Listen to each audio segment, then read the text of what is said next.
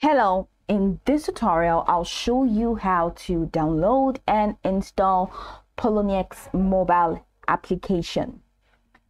Here's a step-by-step -step guide on how to download and install the Poloniex mobile application. For Android users, the first thing you need to do is to tap the Google Play Store app icon on your Android device. This is it, Play Store. Now, once you launch Google Play Store, in the search bar, which is at the bottom right corner, go ahead and click on Poloniex.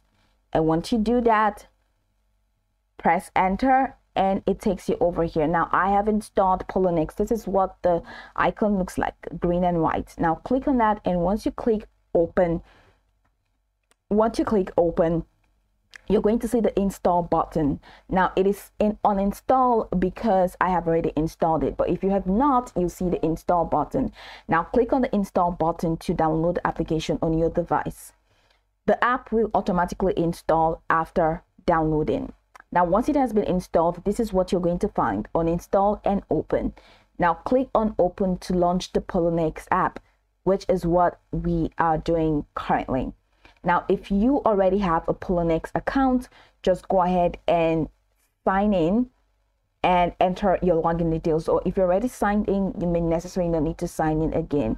But if you are new to the Poloniex app, then you need to follow through the prompts to create your account. Now, if you're using an iOS, just open the App Store icon on your iOS device device rather in the search bar type Poloniex and hit search and from the search results select the official Poloniex crypto exchange app ensure it's published by Poloniex now click the get button next to the Poloniex app then tap install.